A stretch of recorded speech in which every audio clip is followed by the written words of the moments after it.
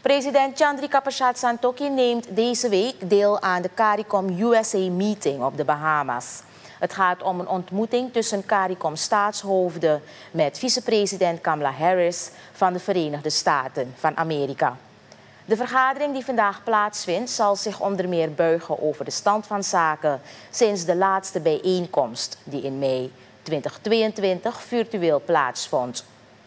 Toen hebben partijen met elkaar van gedachten gewisseld over het economisch herstel na COVID-19, klimaatcrisis, energiezekerheid, voedselzekerheid en veiligheid, veiligheidssamenwerking en ontwikkelingsfinanciering.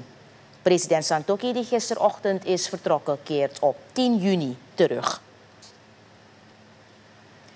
Het ministerie van Openbare Werken is in de afgelopen dagen bezig geweest met het opschonen en uitdiepen van lozingen in het district Wanica. De lozing van de Tjonakietweg is aangepakt, terwijl ook een gedeelte van de verlengde Swampweg dat was weggespoeld is hersteld door aannemingsbedrijf Caribbean Coast Contractors. Het in de trends weggespoelde zand is opgegraven en hergebruikt voor herstel van de weg. Ook zijn gevaarlijke kuilen aan de commissaris Wijtingweg en Noordpolderdam aangepakt door het ministerie van OW.